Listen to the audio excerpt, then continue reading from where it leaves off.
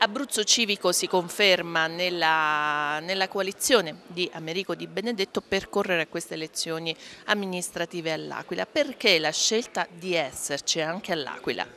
L'Aquila è il centro più importante a livello regionale perché è il capoluogo di regione, è il centro dove anche si vota eh, per queste amministrative e insieme all'Aquila Abruzzo Civico è presente anche in altre cinque realtà importantissime, quindi da Avezzano, Brunge e l'Aquila, ma anche nelle altre tre province, a Teramo con Martinsicuro e Tortoreto, a Pescara con Spoltore e a Ortona con eh, Succhieti. Quindi è, una, è un movimento civico regionale che già da anni è sul territorio, abbiamo rappresentanti in ogni, in ogni provincia, in tanti comuni e quindi l'Aquila era per noi un tassello importante. Abbiamo allestito un'ottima squadra eh, che sicuramente darà grande supporto per la vincita eh, del candidato Americo Di Benedetto ma anche grandi soddisfazioni a noi perché i 32 candidati sono fortemente motivati a fare bene e quando c'è la motivazione, c'è la passione arrivano anche i risultati.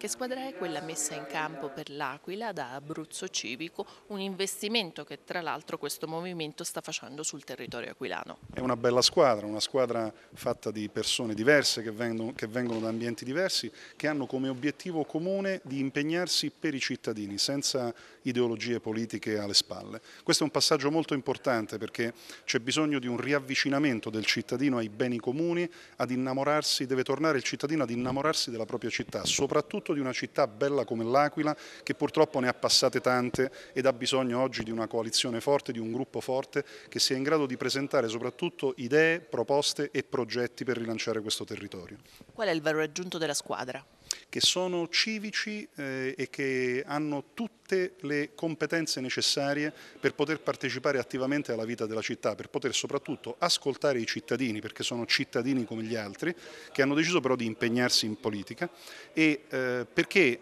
vogliono tornare a fare politica vera, quella politica che è fatta di amore per il territorio, di amore per i cittadini, di amore per le risorse storiche, artistiche, naturali ed enogastronomiche di cui l'Aquila e l'Abruzzo sono ricche. Ecco perché Abruzzo Civico punta ad un civismo vero, non ad un riciclo dei cosiddetti cinici, come li chiamiamo noi.